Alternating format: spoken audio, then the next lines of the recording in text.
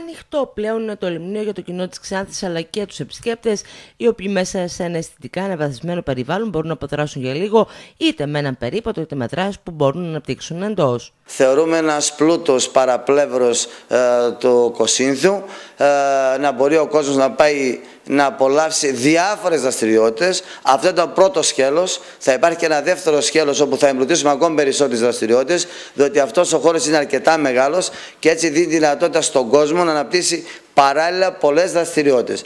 Και πράγματι χρειάζεται στον κόσμο και σε όλες τις ηλικίες αυτή η χώρη και με ένα περιβάλλον με πράσινο πάρα πολύ καλό, διότι πραγματικά αυτή η αξιοποίηση των χώρων γίνεται ιδιαίτερα κατά τη θερινή περίοδο και πιστεύουμε ότι αξίζουμε να έχουμε τέτοιους χώρους. Και παράλληλα βεβαίως με το φωτισμό που θα κάνουμε και όλη την κήτη του Κωσίνθου και τη γέφυρα, την πεζογέφυρα που έχουμε σε ανάπτυξη τώρα στον Κώσινθο την πεζογέφυρα και με μια αξιοποίηση, με μια μελέτη που μας έστω το αρχείο και τους ευχαριστώ και δημόσια για το μονοπάτι από τον Κώσινθο έως το 4,5 θεωρούμε εκείνος ο χώρος σε εκείνη την περιοχή θα έχει να δώσει σχεδόν τα πάντα σε ένα ντόπιο που πραγματικά θέλει να στο περιβάλλον να κάνει περίπατο, να καθίσει με τα παιδιά να ψυχαγωγηθεί και είναι πάρα πολύ σημαντικό και θεωρούμε ότι θα γίνει μια ολοκληρωμένη παρέμβαση με όλα αυτά έτσι ώστε να είναι πόλος έλξης είτε από φιλοξενούμενος αλλά και ιδιαίτερα από τους ντόπιους που έχουμε ανάγκη αυτούς του χώρου ψυχαγωγίας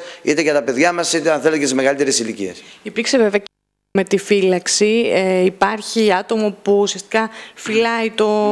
Ναι. Βεβαίως, βεβαίως. Σε αυτό θεωρώ ότι είμαι ανάνδετος. Τώρα για το ωράριο εγώ είχα διαφώνησα και έχω τις δικές μου απόψεις ότι πρέπει να υπάρχει ωράριο γιατί θεωρώ ορισμένες ώρες είναι νεκρές και δεν υπάρχει λόγος να υπάρχει ε, εκεί να είναι ανοιχτό και να υπάρχει φύλακας. Βεβαίως το Δημοτικό Συμβούλιο είναι πάνω από μένα, αποφασίζει ε, και βεβαίως ε, το βράδυ θα έχει security διότι δεν νοείται με τέτοιου είδους μηχανήματα αξιοποιώντας χρήμα της Ευρωπαϊκής Ένωσης. Διότι και θα ήταν άδικο διότι ακούω και ο καλά τόσο ακριβά μηχανήματα θα πάρετε και άλλα να βάλετε. Βεβαίως το μαζί δυνατότητα η Ευρωπαϊκή Ένωση να τύχουμε χρηματοδότηση κατά 100% και να μην τα αξιοποιήσουμε αν κάποιος δημότη μας πήγαινε κάπου αλλού και έβλεπε τέτοιου μηχανήματα, θα έχει ένα μέτρο σύγκρισης ότι εμείς ήμασταν επαρκείς σε ένα σχεδιασμό και στο κομμάτι της απορροφητικότητας. Θεωρούμε ότι αξίζουμε τέτοιου μηχανήματα και ακόμη περισσότερα μπορούμε να βάλουμε για να μπορέσουμε να παρακολουθήσουμε ε, τα σύγχρονα πάρκα στην Ευρώπη, γιατί δεν έχουμε να ζηλέψουμε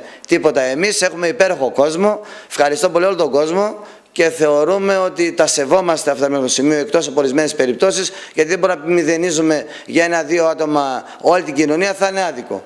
Όμως και εκεί πρέπει να προσέξουμε πάρα πολύ τους βανδαλισμούς και θεωρώ ότι είναι άδικο τέτοιου είδους ε, ε, παρεμβάσεις που κάνουμε να τύχουν βανδαλισμών ε, και είναι άδικο για την κοινωνία. Ένα πραγματικά σημαντικό έργο για το Δημοξάνθης που δείχνει μια άλλη φιλοσοφία αφού εστιάζει τόσο στην αναψυχή όσο και στην ανάπτυξη δραστηριοτήτων σε ένα καταπράσινο περιβάλλον εναρμονιζόμενο με τα ευρωπαϊκά πρότυπα στην κατεύθυνση της βελτίωσης της ποιότητας ζωής των δημοτών.